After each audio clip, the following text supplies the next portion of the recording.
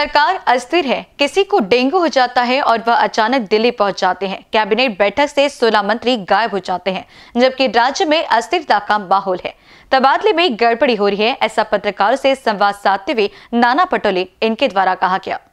बिलकुल आहे सरकार अस्थिर आहे स्थि- एवढी बहुमताचं सरकार हे पहिल्यांदा एक मंत्री जाऊन एका बद्दल बोलत एखाद्या मंत्र्यांना डेंगू होतो मग त्याला एकदम बरा होतो दिल्लीत पोहोचतो की माझ्यावर अन्याय होत आहे.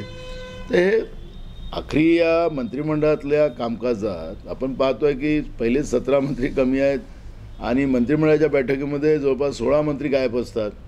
तर हे सरकार तसंही पाहिलं बहुमताचं असताना सुद्धा अस्थिर मंत्रिमंडळाच्या व्यवहारातून आपल्याला पाहायला मिळतं. बदल्यांमध्ये कसं आपल्या राज्यामध्ये गडबडी चाललेल्या आहेत ते पण आपण पाहतो की एका पक्षाच्या मंत्र्याला हिस्सा भेटला नाही तर दुसरा पक्षाचा मंत्री त्याच्यावर चौकशी करायला लावतो कारवाई करायला लावतो आणि बदली थांबायला लावतो. तर हे अस्थिरतेचाच प्रकार आहे.